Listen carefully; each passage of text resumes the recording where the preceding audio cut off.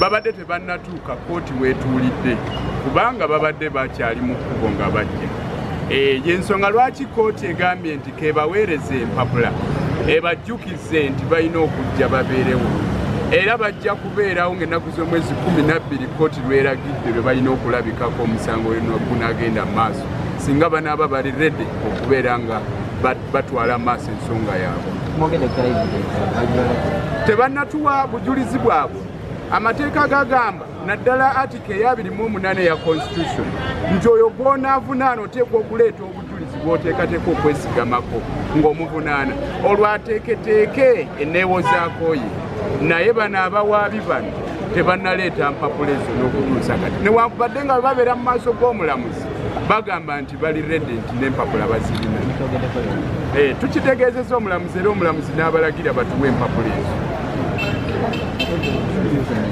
which was uh, um, uh, uh, pressed against our five clients, that accused persons, including but not limited to Honorable Kyagulanyi Ssentamu and his brother, Chairman Nyanzi.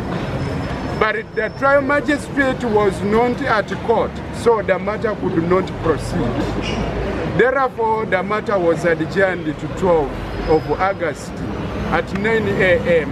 That's when we shall appear and have the matter heard. We have applied to the Honorable Court to order the prosecution to, to comply with the pre-trial disclosure because it is a constitution, constitutional requirement for the prosecution to avail us with all documentary evidence to be relied on in the course of trial.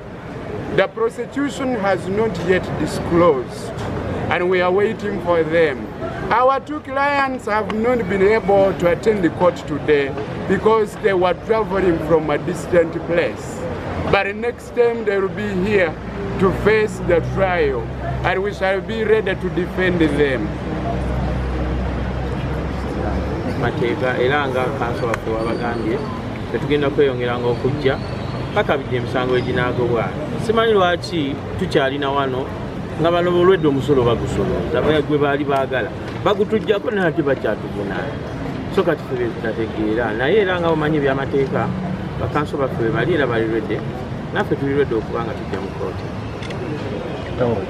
okusookera This case is adjourned for hearing on the 12th day of August, the year 2019 at 9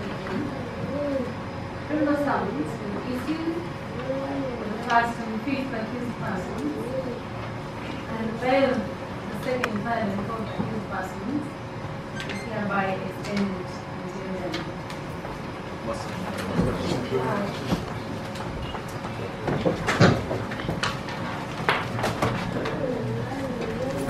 Vietnam, World Cup, 2018.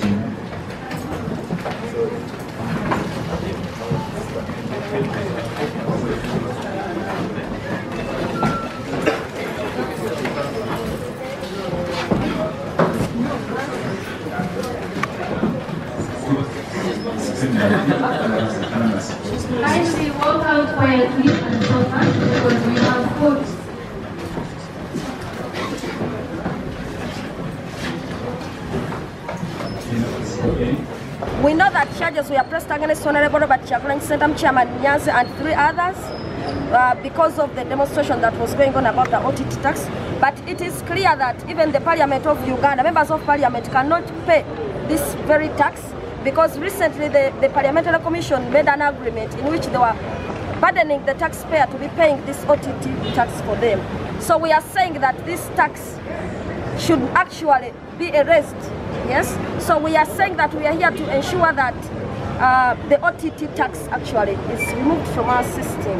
And we are ensuring that we are going to defend this case to the end, ensure that justice is